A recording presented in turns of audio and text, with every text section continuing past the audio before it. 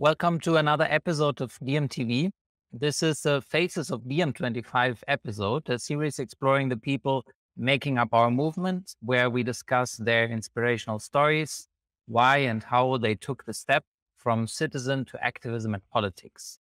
I'm Johannes Fehr. I'm coordinating volunteers for DiEM25, and I'm speaking to you here from Berlin. And I'm really excited to be here tonight with Julie, Robert, Maria, and George. Think they're coming into the screen now. There they are. This is the core team that you're now seeing behind the scenes doing English subtitles for the videos on this channel. So probably now you will do, do subtitles that this team has actually done and has done for so many videos on this channel, which is a very um, tedious and important work um, because, for example, subtitles provide clarity of technical language, jargons, and full names, enhancing language skills, widen reach, um, make it available for uh, anyone and anywhere, um, allow manageable viewing and sound sensitive environments, better user engagement and experience, boost search engine ranking, all these things. I've done a little bit of research. Um, and I think the success of this um, channel, which has now around 100,000 subscribers, is also partly, yeah, the success of the volunteers behind the scenes actually helping out with providing these subtitles that uh, making it easy for everyone uh, actually watching um, to engage with the different videos. But before we go into this, um, a little bit of, um, yeah, talking about the experience of doing subtitling, um, let's see who these people are who are with me tonight. Um, and I would, uh, yeah, go once around the virtual room and um, find out a little bit who um, and where you are, uh, what is your background, and what's your motivation? Why did you join DiEM25? So it would be great if you could just um, give a little bit of an introduction of, um, yeah, where and uh, how you are also uh, tonight uh, when, yeah, joining on this call.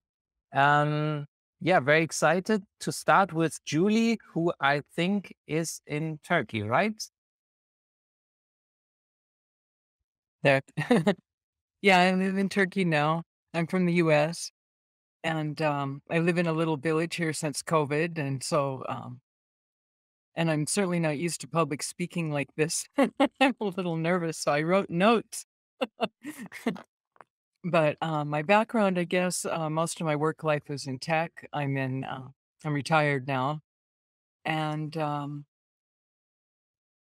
uh, I've traveled a lot. I've lived in Algeria and here in Greece a little bit and around the US and a lot of places and and um and why I'm here is I guess um because I believe in the things that DiEM has to offer.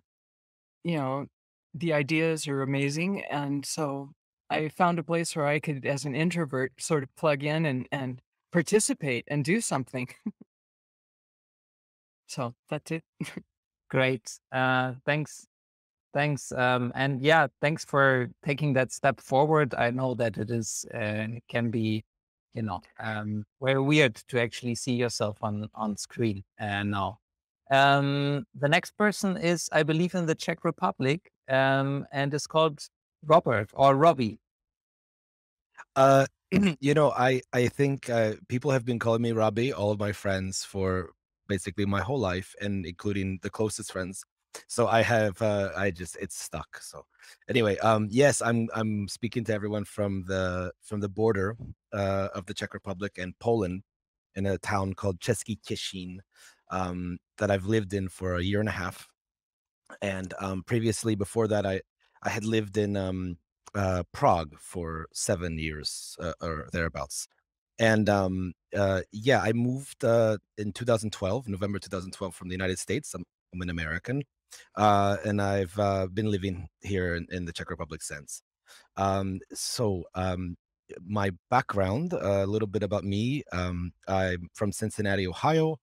Uh, I only lived in the United States. I had never traveled abroad or had been abroad uh, before moving to Europe and uh or had hadn't spoken any languages or learned any languages or anything like that so th- this was for me or and really almost no one in my uh I don't know, so around me had either. So it was really a, a big thing for me to move.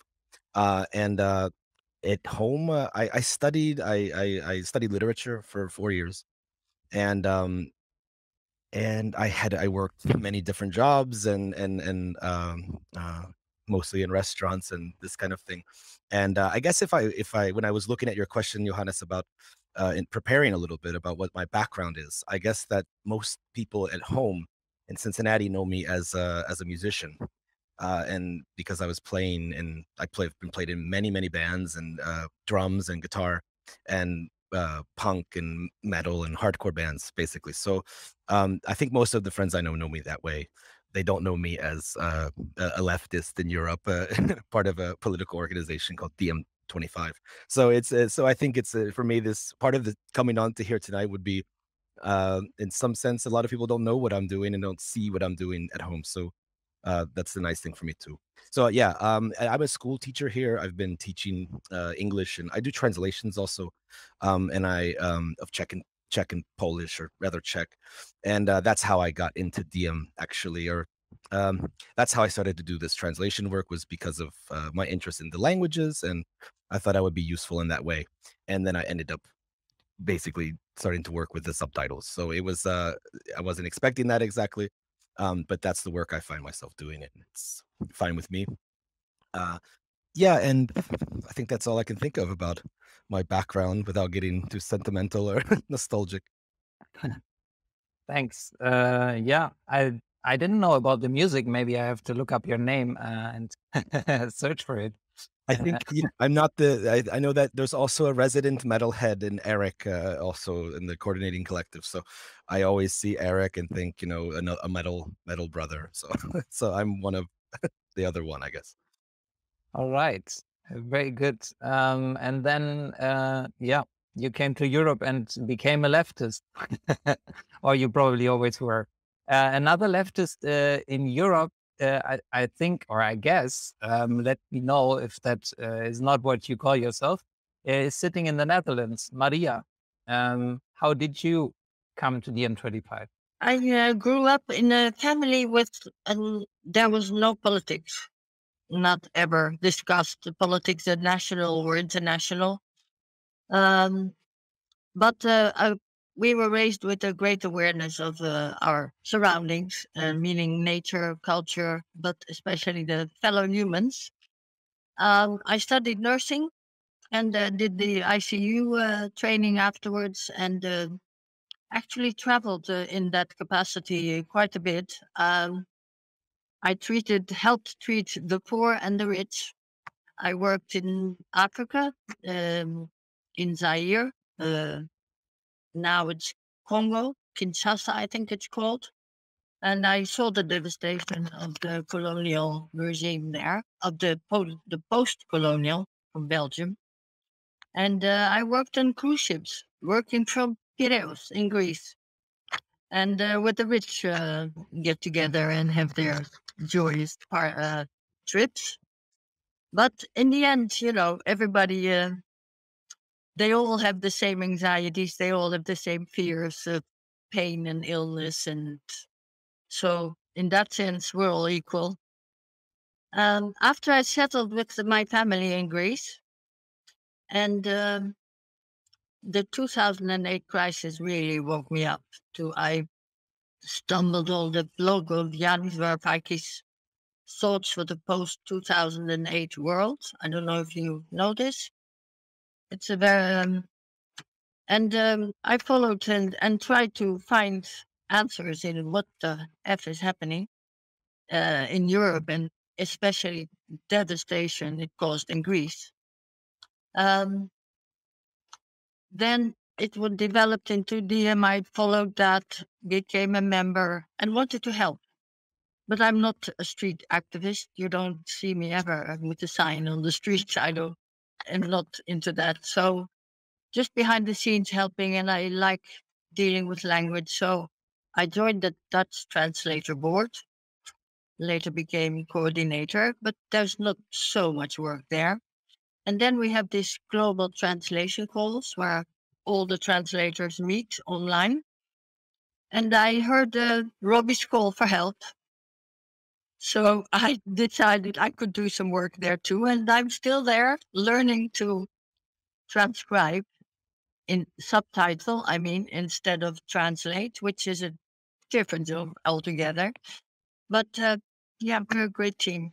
I like doing the work and it's a joy being part of them. That's it for me. Thanks. Thanks for the uh, introduction. And yeah, uh, you can already see, I think, a lot of travelers here in this virtual rooms, and of course, also just a small part of the bigger team. Uh, as Maria has already mentioned, there's uh, many more people working on different languages as well. But yeah, tonight we have the team that uh, has been doing most of the the English subs uh, for for DiEM25. Um, yeah, I think uh, Maria was also speaking a little bit uh, about uh, Greece already and her experiences there, and we have someone here that is not quite from from Greece, but uh, uh, in Cyprus, um, and that is George. Please introduce yourself as well. I'm, as uh, Johanna said, I'm I'm located in Cyprus, actually in Limassol, in Cyprus. Um, I repatriated here after having lived, lived uh, worked abroad uh, for practically all my adult life.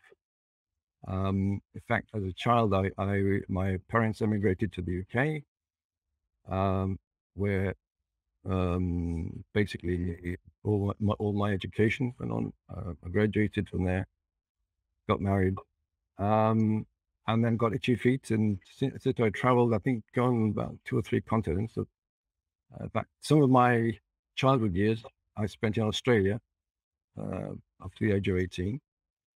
Um, my family then started to up and come back to uh, to Europe, uh, back to London, London, in fact, the UK, uh, where I lived and worked for a number of years. I worked as an engineer in the pharmaceutical industry.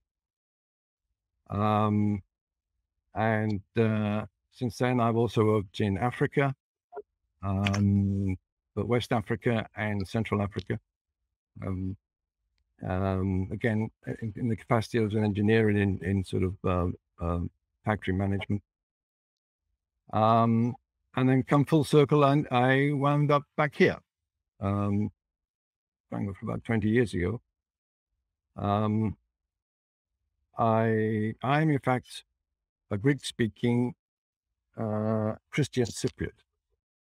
Um, I'm not saying um, I use that that description rather than say I'm a Greek Cypriot because I think um, I don't want to emphasize the Hellenistic part because that, in fact that's um, I think a toxic element in in our problem. For those those of you listening may not be aware, Cyprus is, is a divided island. The north is occupied uh, by the Turkish army. Um, uh, and although we, you know, at the Greeks, the Greek speaking part, we weep because we're, we, we are victims. In fact, our Turkish Cypriot compatriots are even more victims because over the years, um, uh, there's been settlers moved from the mainland uh, uh, to the North Cyprus, and uh, unfortunately, our compatriots are now a minority in their own country. Sorry to get political there. I wasn't political until I came to Cyprus, actually. Um, although I've always been left leaning. Again, that was the influence of my parents, particularly my mother. Um, in her youth, she actually worked, she was um, a, member or loosely associated with the, with the Communist Party eh, on the cultural side. She was a, she was a, a drama. She did various, various uh, events. Um, but um, Obviously, she, she had to give that up. She was, she was from poor working class background, as was my father, and obviously they, they immigrated to the UK for a better future for themselves and their children. So, uh, um, that worked out pretty well, I think. Um, now, my motivation for joining DiEM, I've been a member since 2017 and, and um, part of the, the translation and, and the uh, subtitle subscription group. Um, I, I started that a few, a few years uh, after that, a couple of years, I think. Um, but what drew me to DiEM in the first place, I think, um, uh, was some of Yanis's uh, uh, appearances, very, I found very inspirational. Um, And also, the thing which re- resonated particularly about DiEM is is the the aspirational elements for equality and inclusivity, which I think is very relevant in, in the context of my of my country. Um, and um, I, by joining DiEM, it was my way, in fact, of um, getting educated uh, to try you know, contribute in some way here. Um, I made contact. There are, I, I believe it or not, other um, members of DiEM, and I recently tried to uh, successful in making contact, and uh, uh, hopefully we will, you know, be able to talk specifics, uh, and um, I'll keep you updated on that. Um, but for the moment, I'm I'm happy to be a, a, foot soldier as part of the the translation and the transcription team, and do my bit. Um, well, that's me. Thanks, George. Uh, thanks a lot. Uh, I yeah, I also learned something here about uh, uh a lot of different experiences and jobs that you have done, um, and uh, yeah, I think values also that you bring um, to the team of DiEM25. Um, very inspiring. I also um, we learned something about the Cypriotic history now. that's also very interesting. Um, since Julie, you have um, spoken very shortly in the beginning, and you're in Turkey, which is, um, as uh, we all say in, in DiEM, I think, um, not also a part of Europe. Um, so we have activists, um, active Diemers uh, in Turkey as well. and Julie, I wanted to ask you a little bit on how how is it uh, in today's Turkey? Because uh, how is the situation? Maybe to yeah, tell our listeners a little bit. Oh, the situation. Well, the economy is terrible. The the currency is falling terribly and people are paying so much more. I don't know, 36% more since December in the grocery store and petrol and everything. And uh, you know, the electricity bill was doubled, but now they've backed off, I read today, you know, from that because there was so much protest. It's it's hard for the people here. Really hard. And um and I think people here, many people really want change and they hope for it and they're looking for a way. Um, yeah, yeah, I'd say like that without going too far because really, um, I'm not Turkish, you know, and I'm aware that an American coming in and saying some big opinions about things, uh, it's just unpleasant. Okay, yeah, that speaks for you. but thanks. Um, I think it's very important sometimes to pronounce this and also say to all uh, listeners, maybe from Turkey, you know, DiEM25 is active in the country, and um, yes. we especially, of course, are very happy if, um, yeah, we get new Turkish comrades joining the movement and um, working for that change that you have been describing. Um, now we got a little bit political, but I think that is probably quite uh, normal on a DiEM.TV episode. Um, let's go a little bit into the work that some of you have already been trying to describe a little bit. Um, but I think it has also personally for me, I've through DiEM25, uh, sometimes I'm doing now subtitles or translation, which is of course for us as a European movement. Um, yeah, we have so many different languages. Uh, we are speaking English uh, tonight, but uh, all other languages are also important. So we're trying to do as many translation work uh, as we can and um, do that mostly on a volunteer basis. So uh, we every help is always, of course, also welcome. So if you are there, want to join, volunteer at diem25.org, um, you can join this team and be part of the global uh, translation call and get to know all these people better also. Um, let's go a little bit into the to the work. Um, how what has been challenging and or exciting when doing subtitling, um, and why do you think it is important? Um, Robbie, I think we can uh, circle back to you. Thanks, Johannes. Um, well, why is it important? I think it's um, maybe I'll speak for everyone here, but uh, obviously, um, it's important that in, in the sense that we needed translations or with the hopes that um, the English, you know, if we have a working uh, knowledge of English, uh, that uh, we can fir- we can translate that later and try to get as much reach as possible instead of having subtitles, but rather translations of the text and then subtitles in respective languages would be ideal. Um, of course, because of reality, this is not possible. Uh, it takes so much time. Um, but I think the the overall, let's say, importance of this is is that, in my opinion, or how I perceived it at the beginning, was that we were, um, you know, uh, this idea of having as much reach as possible for for for for for for DiEM25. Um, that said, uh, with subtitling, um, you know, the work, uh, like you mentioned at the very beginning in the, in the intro today, uh, all the aspects, it's also of watchability or, or, also even reach for some videos, as far as I understand, that when videos have subtitles, they even are, um, I don't know how to say this, but they're um, in YouTube, even, you know, they're more available and they have more views and this and that. Um, so uh, there's that. But for me, I can say, you know, the speaking personally, um, the importance of the subtitling or uh, it's really that it's the thing I can do for DiEM that needs to happen. Um, you know, that has to happen. I, I and I uh, am able to do it simply. I can find time and sit down and do it and do this. You know, I coordinate the board as you've mentioned. Um, or hasn't been mentioned, but I part of this coordination effort, and basically the four of us are sharing that duty, especially with Julie. Um, but um, you know, uh, this is something that I like, maybe like Julie said, that I was able to do it so simply I do it. And it's important work for me because, like Maria, I'm also not the person who who is involved in this um, political life as much um, in the Czech Republic or even in America, not at all. Um, and uh, this is so for me, the importance of it is is quite quite personal that I can simply it's something I can do for the movement. Uh, but of course, uh, the idea that I think is that we have as much uh, we have some basis that we can basically translate from.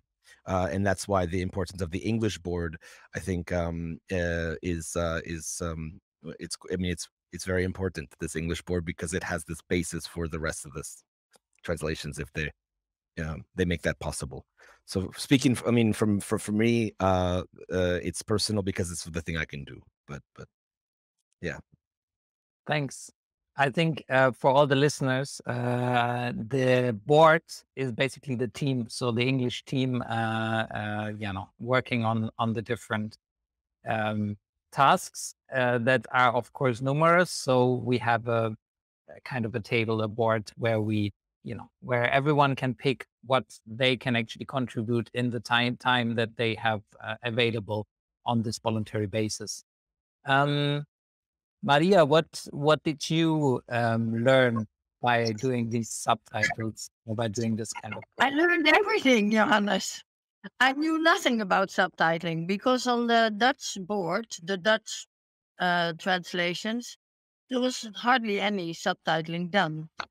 So from and I sort of avoided it because it seemed difficult. But once you know, you get put a little effort in it and you read what it's about and you try and make mistakes and i mean these guys around me help me all the time to get better and uh, now and and it's like it, enjoy doing it. It's fun also to to be able to get something done you know makes you feel proud as well that you did it again. And um, i think um, what Robbie said it's true. It's uh, it's so important that the message gets out there and that's understood by as many people as possible. So, yeah, it's important work because English is the main the main, however we make of it, uh, the main language, and uh, yeah, it's important that it gets done. Yes. Um, and I think uh, in DiEM25, we are, of course, also doing a big effort to having more content now in, in different languages that is, you know, originally done in Greek, in German, in other languages. Um, but of course, for the international um, scale, so to say, the English still will be uh, our most important language that we can also uh, learn to speak to each other. Um, great. George, uh, is there something that you can share that uh, what you have learned by doing this tedious work of um, writing down what other people are saying, basically? Yeah, as you said, it is tedious work, mind numbing at times. Um, but uh, okay, I, you know, okay, boring work is something I, I'm used to. Um, but I think what I got, got out of it, I could probably put into three separate headings. The, there's the intellectual stroke educational aspects of it. Um, because um, in doing the subtitles, uh, I'm actually seeing many more videos than I would normally, and maybe even see some which I wouldn't uh, particularly uh, choose to to to see. Uh, but even then, I find a lot of interesting stuff, particularly the um, um, allusion to sort of the political implications of a lot of uh, cultural stuff. Um, you know, I'm, I'm to realize that culture is political, uh, or can be political. Um, the other aspect basically is the social side in in in um, uh, through through the medium of these videos. You're seeing uh, getting exposure to people from different backgrounds and different um, uh, different objectives um, and di- different cultures, different countries. Um, and the other thing is the cultural. So basically, the social and the cultural sort of merge. Um, and um, I think the, the main benefit to me, if you, you know, if you can call it a benefit, is is uh, as as um, the other speakers uh, already mentioned, is, is, is, is the satisfaction of having, having contributed something. Know, um, it may seem it's like a back room. It's a back room activity. You know, we're not there, you know, carrying placards and so on. But I think um, I feel that what we do contributes to to the efforts of, of the movement you know, to, for enlightenment. You know, I think somebody once said you know, the, the, three most important things about about um, movement is communication, communication, communication. So that's where we are, I think. Yes, uh, that's what we're doing now, communicating. Um, and something that I can share what I've also found an interesting experience when subtitling um, videos and especially then doing translation of subtitles is that I actually uh, go much deeper into, you know, what the text is actually speaking about and learning what the speakers are saying because I'm, you know, I'm writing it down basically again, um, which was also a technique that helped me in school and so on to just, you know, once more uh, go through it. So this is also something if you see an interesting video, that is much easier, of course, uh, to subtitle. And of course, most of the DiEM.TV episodes are very interesting and um, fun to subtitle. Um, Julie, what is there something that uh, the special that you learned while uh, doing this? Well, um, everything's pretty much been covered, but I guess I'd say I kind of enjoy it because there's kind of a relaxation that happens when you focus down on something for that long, you know, and I've learned a lot and and seen people that I would never have, have known about before and ideas I didn't know about before. So so it's I love it. And and also uh there's an emo when you're going that slow and going over, you know, what they're what they're saying, you get the emotional content that's going on in there too. And that's always interesting to me. Um yeah. Yes. And the the different kind of characters that you can also see in in Yeah, yeah. They're fascinating. And a lot of people I've respected for a long time, and and it's like an honor in a way. It seems silly, but I feel honored, you know, to be a part of something that that they're that they're um in front of. Yeah. cool. Um, yeah, I think this has been a half an hour uh, episode of DiEM.TV um, so that uh, we will make it a little shorter tonight so that we don't have that much work for this one to subtitle. Um, but maybe once more, one more time to to Robbie to um, yeah wrap up the call and uh, or the, the the live stream or the stream that we have been doing. So uh, Robbie, over to you.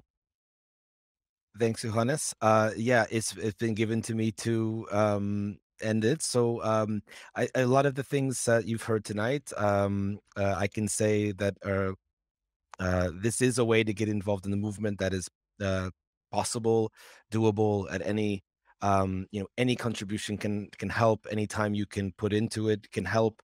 Um, you know julie and i are native spe- we're you know na- are native speakers of english or americans. Uh, george has a background in uh, in in the uk as you've heard but um, this doesn't require uh, you know you to be a native speaker of english. So one of the aspects uh, about joining our team could be that uh, you could practice simply practice english or some exposure to listening and and and so on um and transcribing can be in some sense um practice you know um but anyway i, I wanted to say that it's not a, a special inclusive team uh that you have to learn a lot of things to get involved in. Um there are some things at the beginning but once you get a uh, the hang of it it's uh it's it's it's it's an e- it's easy work. It's can be tedious but it's easy work.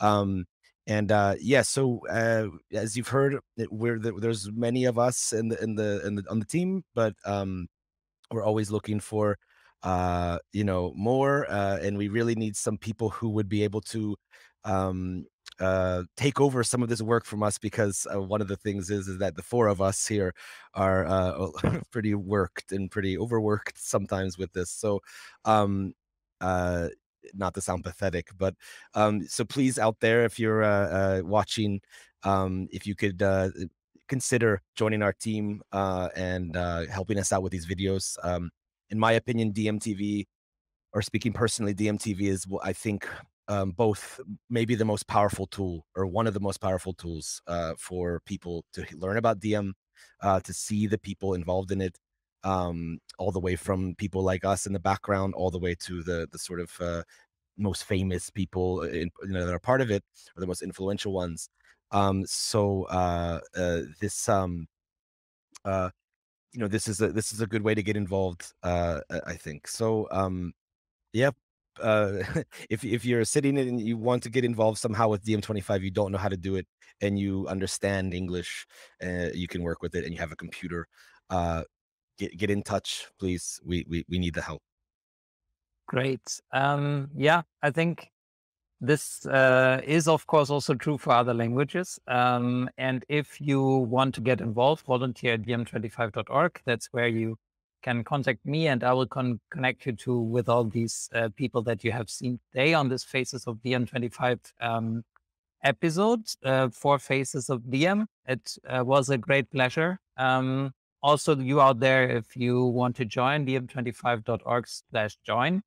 Um, if you're not yet a member, um, that would also um, always help us to, you know, to uh, grow.